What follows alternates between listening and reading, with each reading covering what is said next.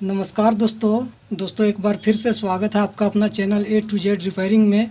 दोस्तों, आज हमारे पास एक सैमसंग का बत्तीस इंच एलसीडी टीवी है और उसमें प्रॉब्लम क्या है देख सकते हैं? ये ब्लैक एंड वाइट का प्रॉब्लम है। तो दोस्तों, आज के वीडियो में ये जो ब्लैक एंड वाइट प्रॉब्लम है, इसको मैं आपको ठीक करके दिखाने वाला हूँ। तो दोस्तों वीडियो को शुरू करने से पहले मैं आप लोगों से रिक्वेस्ट करना चाहूँगा कि यदि आप हमारे चैनल पर नए हो तो हमारे चैनल को सब्सक्राइब कर ले। और बगल में जो बेल का आइकन दिख रहा है, उसे प्रेस कर ऑल नोटिफिकेशन को भी ऑन कर ले, ताकि हमारी आने वाली वीडियो आप तक पहुँचे सबसे पहले। और दोस्तों, यदि हमारे चैनल को सब्सक्राइब कर लिए हैं तो बहुत बहुत धन्यवाद। तो आपका समय को वेस्ट किए बिना चलिए वीडियो को शुरू। तो दोस्तों, सबसे पहले तो टीवी का सेटिंग में जाते हैं। और सेटिंग में जाने के बाद में, और यहाँ पे ये जो इनपुट वाला ऑप्शन है, इसमें जाना है। तो चलिए इनपुट में आने के बाद में देख सकते हैं कि इधर आना है तो इसमें सोर्स में इंटर करना है और सोर्स में इंटर करने के बाद में देख सकते हैं कि ये जो हमारा टीवी अभी चल रहा है, ये कंपोनेंट मोड पे, ठीक है? और ये हमारा टीवी मोड है। टीवी मोड में करने से क्या होगा कि पिक्चर नहीं आएगा, आरएफ मोड में चला जाता है। और ये जो हमारा एवी मोड है, ये अभी हाईलाइट नहीं है, ठीक है? तो जब ये एवी मोड हाईलाइट होगा, तभी हमारा कलर जो है, इसमें चलेगा। कंपोनेंट मोड में जो होता है, वो ब्लैक एंड वाइट पिक्चर आता है। तो चलिए एक बार मैं आपको दिखा देता हूँ कि ए वी मोड में देख सकते हैं, कर रहे हैं तो हमारा टीवी मोड में आ जा रहा है। ए वी मोड में नहीं हो रहा है। तो हमें सबसे पहले तो ए वी मोड करना है तो ए वी मोड के लिए देखते हैं। तो दोस्तों, ये जो प्रॉब्लम है, ये हार्डवेयर है, ठीक है? ये सेटिंग से प्रॉब्लम नहीं है। वीडियो को मैंने स्किप करके जो इसका सारा सेटिंग को मैं चेक कर लिया। सेटिंग से ये प्रॉब्लम नहीं है। तो इसका हार्डवेयर में क्या करना है? तो अभी मैं लाइव दिखा रहा हूँ, कोई वीडियो को कटिंग छटिंग नहीं कर रहा हूँ, ना ही कोई फेक वीडियो बना रहा हूँ। तो इस तरह का प्रॉब्लम मैं और भी टीवी में ठीक कर चुका हूँ, इसके लिए मुझे पता है और मैं आपका समय को ज़्यादा वेस्ट नहीं करना चाहता हूँ, इसीलिए सीधा हम फॉल्ट पे आते हैं।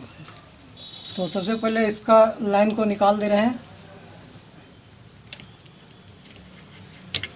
आपको करना है? तो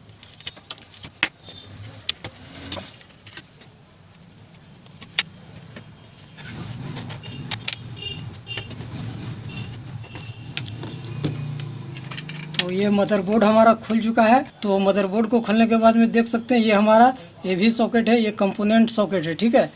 तो हमें क्या करना होगा, यहाँ बारी बारी से चेक करना होगा कि हमारा ये जो दोनों पिन है आपस में, ये दोनों शॉर्ट होना चाहिए, ये दोनों शॉर्ट होना चाहिए, ये दोनों शॉर्ट होना चाहिए, ठीक है? तो जो कंपोनेंट मोड का जो पिन होता है, वो शॉर्ट है कि नहीं, ये हमें चेक करना है।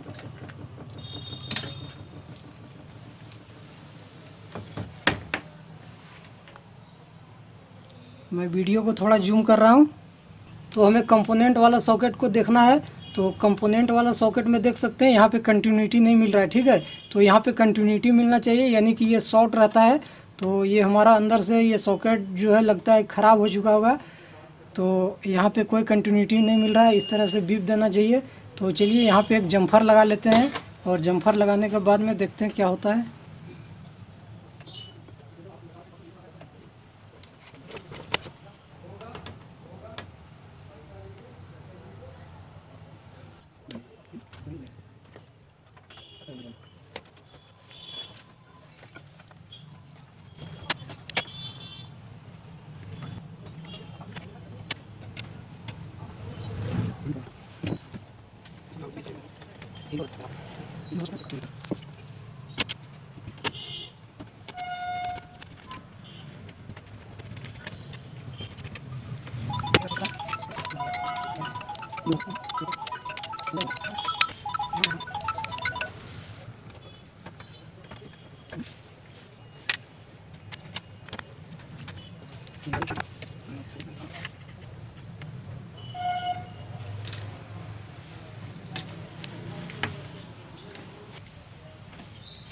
लाइन।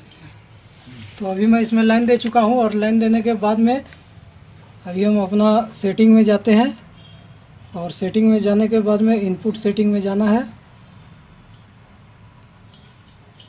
और अब जो है सोर्स में आ चुके हैं तो दोस्तों यहाँ पे देख सकते हैं कि सोर्स में जाने के बाद में जो हमारा ए भी वाला ऑप्शन है, ये अभी हाईलाइट हो चुका है। पहले हाईलाइट नहीं था, अभी कंपोनेंट देख सकते हैं हाईलाइट नहीं है। उस समय ए भी हाईलाइट नहीं था कंपोनेंट हाईलाइट था, ठीक है? तो अभी हम ए में जाते हैं और अभी ए भी में इंटर करते हैं। तो देख सकते हैं पिक्चर हमारा प्रॉपर क्लीन चल रहा है और कलर भी आ चुका है, एकदम नेचुरल कलर तो दोस्तों, उम्मीद करता हूँ कि जानकारी आपको अच्छी लगी होगी। और दोस्तों, जानकारी अच्छी लगी होगी तो प्लीज़ हमारे वीडियो को लाइक करें शेयर करें। हमारे चैनल पे नए हो तो हमारे चैनल को सब्सक्राइब करें। मिलते हैं नेक्स्ट वीडियो में। तब तक के लिए धन्यवाद।